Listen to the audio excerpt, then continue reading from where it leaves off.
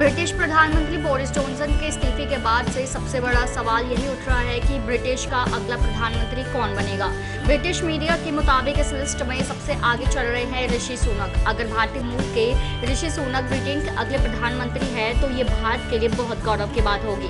वहीं ऋषि सुनक अगले ब्रिटिश प्रधानमंत्री बनने वाले के प्रबल दावेदार हैं, क्यों हैं, ये आपको बताएँगे। उससे पहले जरा ऋषि सुनक के बारे में कुछ जानकारी जाने। ऋषि सुनक के माता पिता भारतीय ही मूल निवास थे। वहीं 2019 में ऋषि सुनक को बोरिस जॉनसन के वित्त मंत्री बनाया गया था।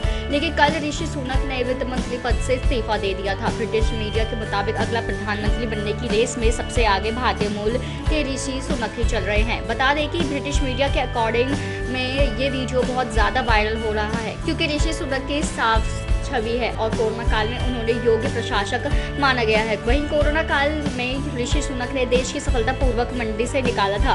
उनकी इसलिए भी तारीफ़ होती है कि वे सभी वर्गों को खुश करने में सफल रहे हैं। इसके अलावा सरकार के प्रेस ब्रीफिंग में ऋषि सुनक ही अहम चेहरा होते हैं। कई मौक़ों पर टीवी डिबेट में बोरिस जॉनसन की जगह जगह ऋषि कौर ने ही हिस्सा लिया है। इसलिए ये उम्मीद जताई जा रही है कि भारतीय मूल्य के ऋषि सुनक ही अगले ब्रिटिश प्रधानमंत्री हो सकते हैं। वैसे ऋषि सुनक की पत्नी पर टैक्स चोरी का आरोप भी लगा थे, जिसकी वजह से उनकी काफ़ी ज़्यादा आलोचनाएँ भी हुई थी। बाकी आपको क्या लगता है, क्या ब्रिटिश ब्रिटिश के प्रधानमंत्री ऋषि सुनक को बनना चाहिए, या आप हमें कमेंट बॉक्स में ज़रूर बताएँ।